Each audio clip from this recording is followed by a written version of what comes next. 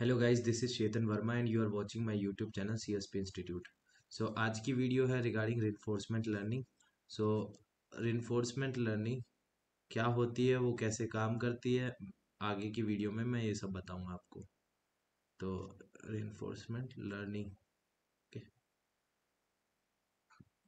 reinforcement learning is an area of machine learning. It is employed by various software and machines. To find the best possible behavior or path it should take in a specific situation. जो ये है it is employed by various software जो अलग अलग software है, उसके द्वारा employed किया जाता है या फिर मशीन्स के द्वारा, कि जिससे कि हम, जो बेस्ट है या पॉसिबल बिहेवियर या पाथ बोल सके, ठीक है? बेस्ट पॉसिबल बिहेवियर या पाथ को एक मशीन को लेना चाहिए कोई भी सिचुएशन के अंदर। कोई एक पर्टिकुलर सिचुएशन है उसके अंदर एक मशीन को जो बेस्ट आ, मतलब सॉल्यूशन है या फिर बाद में पाथ है या बिहेवियर है उसको लेके आना चाहिए। Reinforcement learning differs from supervise learning in a way that in supervise learning the training data has the answer key with it so the model is trained with the correct answer itself whereas जो machine learning है यहाँ पर there is no answer यहाँ कोई answer नहीं है। लेकिन जो मशीन लर्निंग एजेंट है वो डिसाइड करता है कि क्या करना चाहिए कैसे परफॉर्म करना चाहिए गिवन टास्क के लिए। यहाँ पर जो ट्रेनिंग डेटा है वो अब्सेंस है। उस वो ट्रेनिंग डेटा नहीं दिया है हमने वहाँ पर। It is bound to learn from its experience ये अपने एक्सपीरियंस से ही सीखता है। सो so, मैं कह देता हूँ there is no training data there is no training data for it okay so ये हो गया इसके लिए it learns with its experience अब कुछ टर्मिनोलॉजीज हैं इससे रिलेटेड या फिर की कंपोनेंट्स बोल सकते हैं आप, उससे रिलेटेड मैं आपको बताना चाहूँगा, सबसे पहला है आपका एजेंट एजेंट क्या होता है? मैंने अभी अभी एक वर्ड यूज़ किया एजेंट द एंटिटी और algorithm that interacts with the environment and learns to make decisions कोई भी एंटिटी होगी एंटाइटी होगी या फिर एल्गोरिदम होगी, जो इंटरेक्ट करती है इन्वायरमेंट के साथ में। मतलब मान लो कि ये आपका एक बॉक्स है या एल्गोरिदम है या एंटिटी है कुछ भी है इन्वामेंट जो भी इसके बाहर की चीज़ें हैं, उसके सराउंडिंग जो चीज़ें हैं, ठीक है? सारी, सारा यूनिवर्स एक इन्वामेंट है। ठीक है? जो इंटरेक्ट करता है इन्वामेंट के साथ में और लर्न करता है लर्नस टू मेक डिसीजंस वो डिसीज़न बनाना सीखता है। The agent takes actions based on its current state जो भी उसकी करंट स्टेट है, उसके आधार पे वो डिसीज़न लेता है and receives feedback in the form of reward और पेनल्टी वो मतलब फीडबैक मिलता है उसको दो तरीके से। अगर कोई काम अच्छा करेगा तो रिवॉर्ड देंगे और कुछ गलत करेगा तो फीडबैक पेनल्टी मिलेगी उसको। एग्ज़ाम्पल के लिए एक नवजात शिशु मान लीजिए अपन। नवजात शिशु नहीं मतलब थोड़ा सा बड़ा हो गया एक बच्चा, ठीक है? वो है एज ए एग्ज़ाम्पल हम उसको कंसिडर कर लेते हैं। तो तो वो जो बच्चा है घर पे अपने घर पे कोई भी आता है अपन क्या कहते हैं? उससे पूछते हैं ना अरे बेटा ये कौन है? ये ये कौन है? तो वो क्या कहता है? अंकल। ठीक है? तो जब वो गलत आंसर करता है या फिर वो बोलता है पापा। तो गलत आंसर करता है तो हम क्या करते हैं? उसको करेक्ट करते हैं। नहीं बेटा ये पापा नहीं है ये है दादा। ठीक है? इस तरीके से या फिर चाचा ऐसे करेक्ट करते हैं उसको। ठीक है फीडबैक देते हैं उसको। अगर वो सही करता है तो हम उसको रिवॉर्ड उसके लिए तारीफ़ अरे वाह! पहचान गया। अरे वाह शाबाश! बहुत इंटेलिजेंट बच्चा बहुत होशियार बच्चा। इस तरीके से करके उसको हम क्या करते हैं अप्रिशिएट करते हैं। उसको हम आ, किसी तरीके का अप्रिशिएशन देते हैं। ठीक है? सो so, उसी लर्निंग प्रोसेस के ऊपर अपना रेनफोर्समेंट लर्निंग भी काम करता है।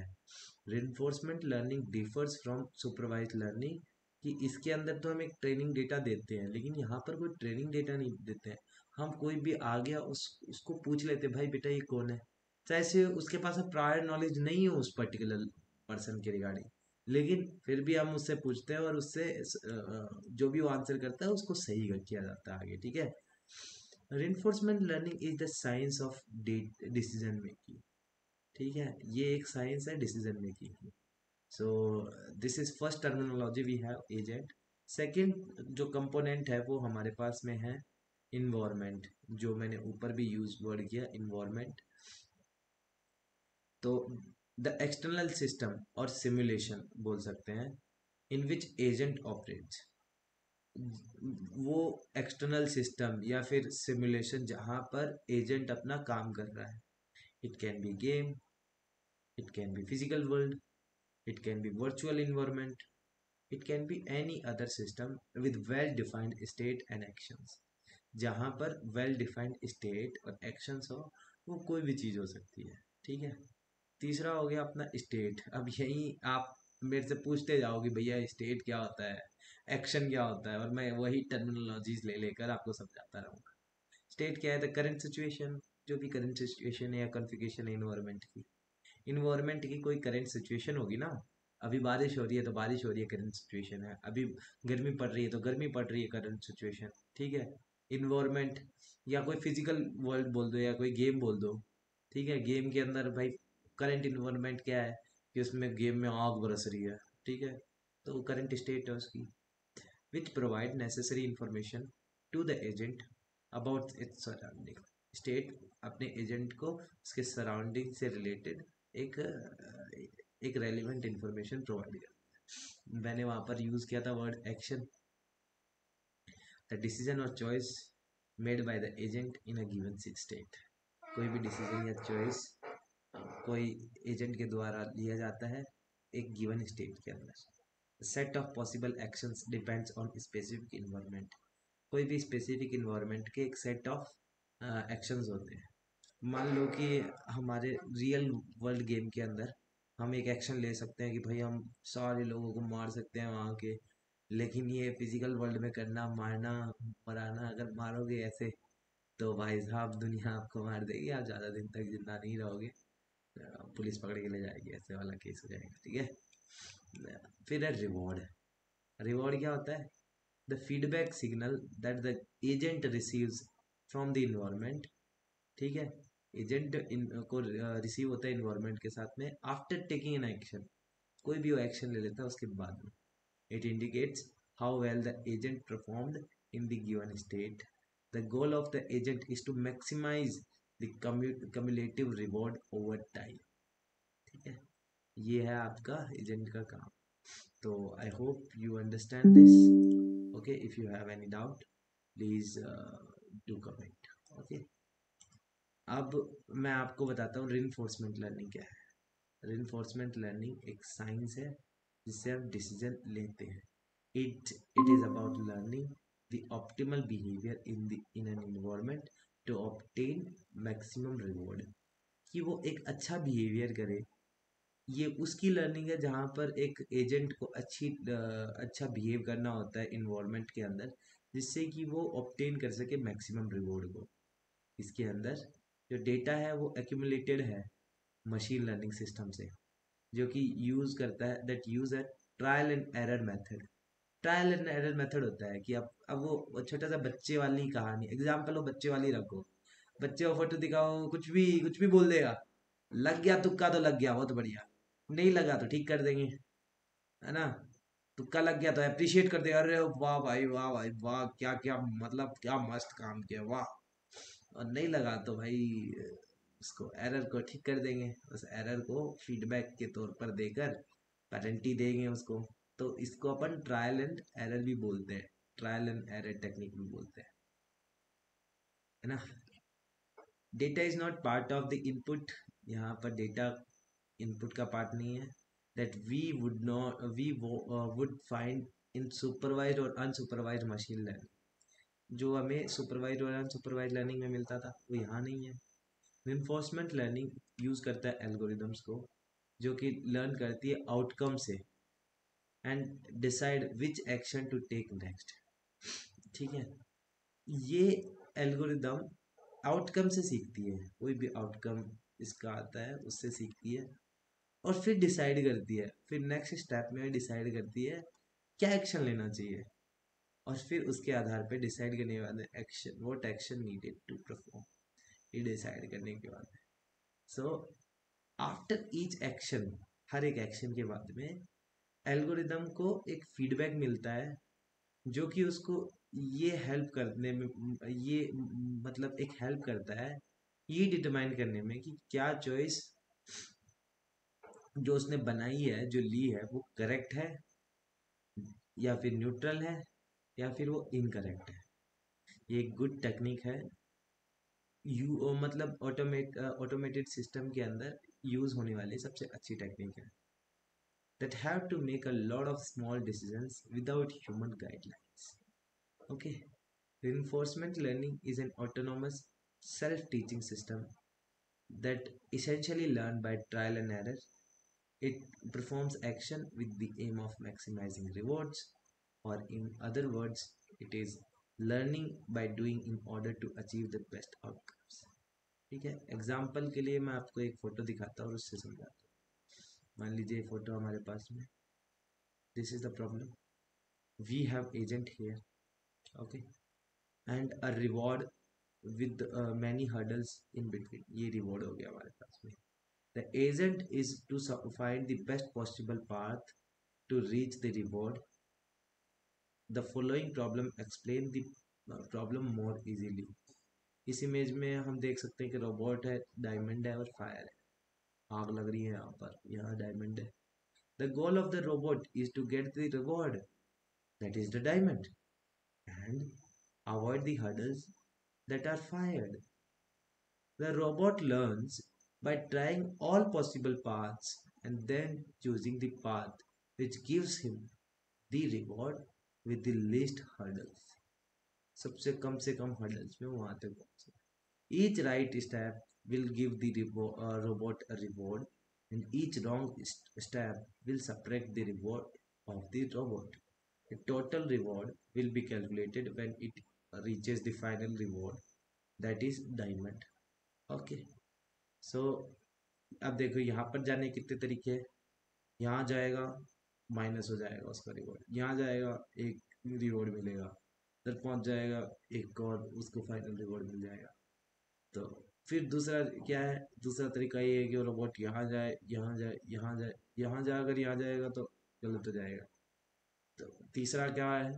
यहाँ यहाँ जाए, फिर यहाँ से यहाँ जाए। दूसरा तरीका, अगला है यहाँ यहाँ यहाँ यहाँ यहाँ यहाँ, ऐसे ऐसे जाए।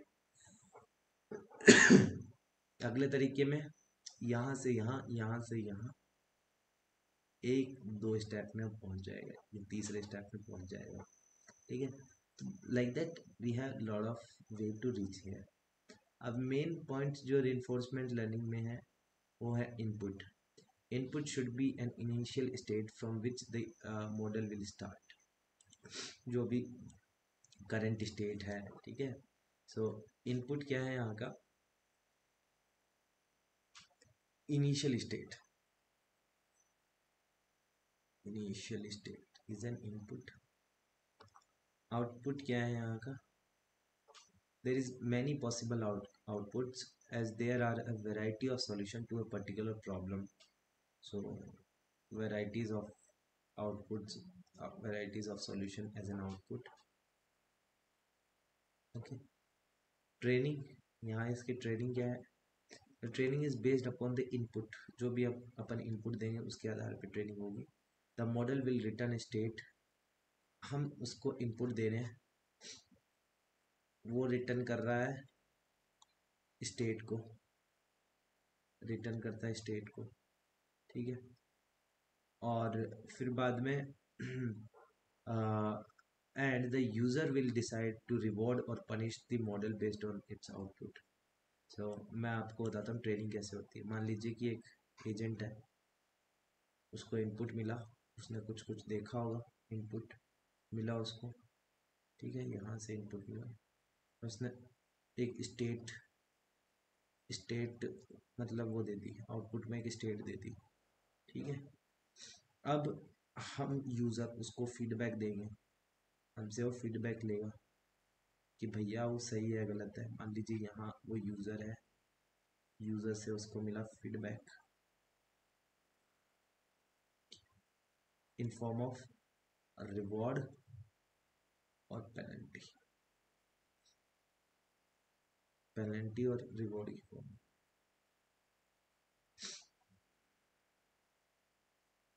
ठीक है? पनिश की फॉर्म में बोल सकते हैं। हमने उसको पनिश कर दिया। मारा उसको ठीक है? The model keeps continue to learn the best solution is decided based on the maximum maximum reward ठीक है? सो मैक्सिमम रिवॉर्ड से वो जीत जाएगा। अब इसके अंदर मैं आपको डिफरेंस बताना चाहूँगा कि रेनफोर्समेंट लर्निंग और सुपरवाइज लर्निंग में क्या डिफरेंस है। अपन इधर लिख लेते हैं आर एल इधर इधर लिख लेते हैं S L supervise learning reinforcement learning is all about making decision sequentially यहाँ पर डिसीज़न मेकिंग हो रहा है। डिसीज़न मेकिंग हो रहा है सिक्वेंशियली एक सीक्वेंस में। ठीक है? अगर सिंपल वर्ड में बोले तो we can say that the output depends on the state of the current input and the next input depends on the output of the previous input मतलब कि जो आउटपुट है वो करंट इनपुट के ऊपर बिलोंग करता है। ठीक है? और जो नेक्स्ट इनपुट है, वो ये आउटपुट निर्धारित करेगा। ये जो आउटपुट है, ये अगले का नेक्स्ट इनपुट बन जाएगा। ठीक है? यही इनपुट आउटपुट इनपुट का बन जाएगा, इस तरीके से। वही supervise learning the decision is made on the initial input और input given at the start यहाँ पर जो डिसीज़न होता है, वो जो भी डेटा हम स्टार्टिंग में देते हैं प्रोवाइड करते हैं एज एन इनपुट उसके आधार पे ही बनता है, ठीक है? इनिशियल डेटा जो भी हम देते हैं, उसके आधार पे यहाँ पर डिसीज़न लिए जाते हैं। R L decision is dependent so we give labels to sequence of dependent decisions ठीक है? यहाँ पर डिसीज़न है, वो डिपेंडेंट है। और इसीलिए हम इसको जो लेबल्स देते हैं, वो सीक्वेंस ऑफ़ डिपेंडेंट डिसीजंस का ही देते हैं। एग्ज़ाम्पल के लिए यहाँ पर चेस गेम बोल दो है ना? टेक्स्ट समराइजेशन बोल दो, जो चैट जीपीटी करता है आपका। ये हो गया। यही इसके अंदर in supervise learning the decisions are independent of each other so labels are given to each decision हर एक डिसीज़न के ऊपर ही हम लेबल देते हैं। वहाँ सीक्वेंस के ऊपर डिसीज़न देते हैं। यहाँ डिसीज़न के ऊपर लेबल देते हैं। डिसीजंस विल बी लेबलाइज्ड ठीक है? एग्ज़ाम्पल के लिए ऑब्जेक्ट रिकॉग्नाइजेशन हर जो ऑब्जेक्ट है, वो इंडिपेंडेंटली रिकॉग्नाइज होगा। Spam detection and so on so I hope आपको समझ में आया। ठीक है? And in next video I will tell you about the different types of R L and advantage disadvantage and implementation of R L thank you and have a good day